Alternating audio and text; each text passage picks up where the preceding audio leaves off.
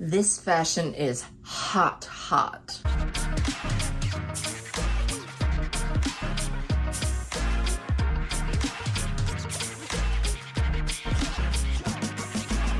Hey guys, it's Jess from She's Posh. Welcome back and today I'm going to share with you five fashion trends throughout the centuries that were very, very flammable. I make videos anytime I want, so please remember to hit subscribe below and ring my bell so we can become best friends here on the internet. Okay guys, I have another fun video for you where I just look at some of the history of fashion and I picked five that if you rocked these fashion trends, you had a chance to go up in flames for realsies. The fashion was hot, but it could get very, very hot, literally. So let's have some fun looking back at the history of fashion and how you and I probably would have went down in flames. The first one I thought of was crinoline dresses right here, the Gone with the Wind moment. Now, these dresses, fun fact, they were actually created because women were starting to walk by themselves alone on the streets. I know, risque, right? And because they were so poofy, it was said to keep the men's like hands off of them. So it was almost like the six foot rule type thing. So that's why it was usually worn by young women.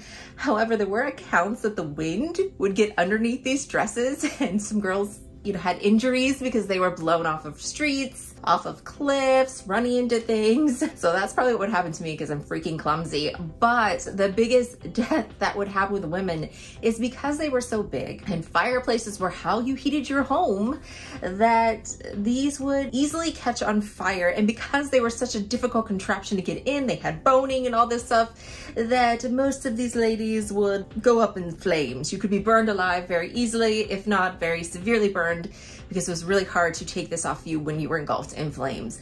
So yes, this gone with the wind moment could have made you go up with the wind. Another way women shared their hot fashion and got hot is wigs, guys. Wigs were everywhere. Elizabethan times, people were just rocking wigs up until the 1700s.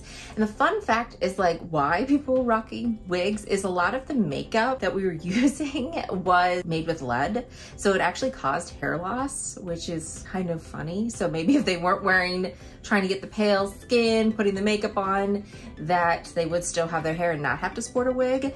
But the wigs were actually made of human hair, especially if you were wealthy. They really preferred the hair of a virgin the best. Yes, they did. Since it was human hair and they wanted it big and bold and beautiful, that these had the tendency to catch on fire. And because they were so big and poofy, you wouldn't notice if you were walking past a candle because a lot of the homes were, you know, they had candles on the sides, by the windows, chandeliers, all this stuff. And you have this huge hair piece that you would go up in flames and since it's real hair, it just burns really, really fast so yes, lots of injuries and she definitely lights up the room. Number three, including the wigs, this fashion called the fantonnage was a fancy headpiece that also had a similar problem to the wig. And it's kind of fun fact how this hairpiece came to be. It was named after the Duchess de Fantonnage. She was actually a mistress to, I believe it was Henry the 14th. And she actually fell off a horse while she was hunting and her hair got like all messed up. So what she did, she took off garter belts and she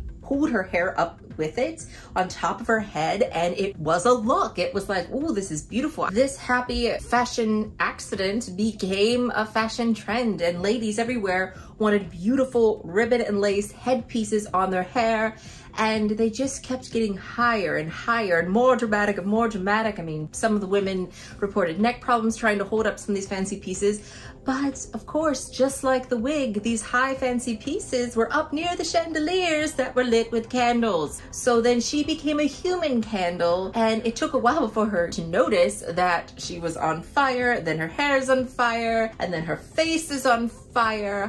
And yes, most of the women were very severely burned. There are accounts of some ladies ended up succumbing to their burns after the fact, but yes, this hot fashion got too hot, too hot for me, but I totally would be rocking a fun headpiece though. I could so see myself like getting all dressed up, getting all glamorous, putting all these ribbons on, get myself a tiara, like huge tiara moments and then going up in flames. But what a way to go, right? Number four, we have the plastic cuffs. So in the late 1800s, roughly, the, the style was having a cuff at the end of your jacket, wearing a complete shirt underneath to get that cuff look. Just another thing to clean. It's so much harder to wear a shirt underneath every single day. But when plastic cuffs were invented, people were so excited because first of all, plastic was super easy to clean and it was just one cuff. So you didn't have to wear a shirt under your outfit. They also made collars and things like that that you could wear around your neck. Just everybody was able to have some hot, hot fashion, but it came at a price. The first plastics that were invented were actually pretty flammable. Everything was flammable. Well, very common was for men and women both use this, but men lighting their pipes, lighting their cigarettes, their cigars. They could also light their hand on fire.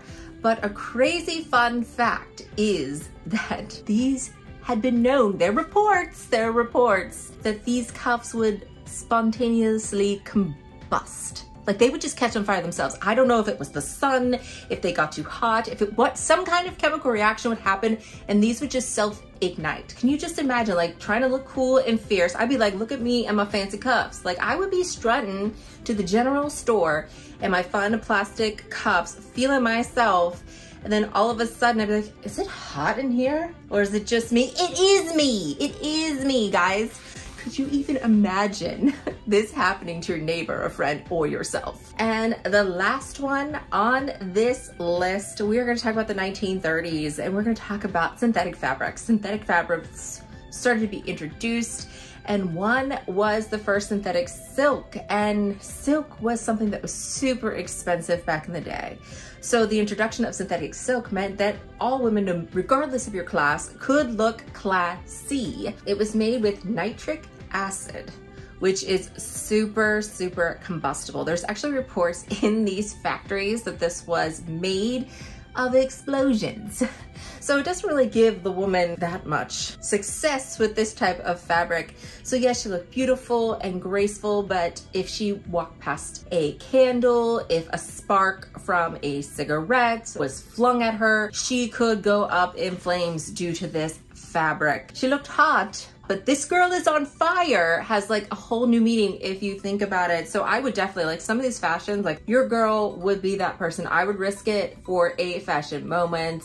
Luckily, I wouldn't be a smoker. I would probably try to stay away from some candles. But there actually, this happened so often that there was a newspaper article that posted that if you wanted to be rid of your mother-in-law, this is awful, but if you wanted to be rid of your mother-in-law, buy her a new dress made of this synthetic silk and light a candle and you'd be rid of her. The newspaper was just making this casual. People are catching on fire. Factories are blowing up and they're like, hey, you got, you got a problem? Here, I'll give you a solution in the newspaper. That is nuts. Like, I know they're joking, but seriously guys. Okay guys, that is everything. I'm hoping you're loving this new content that I have for you and you'll consider subscribing. But as always, I wanna thank you so much for watching and I hope to see you again. Bye guys.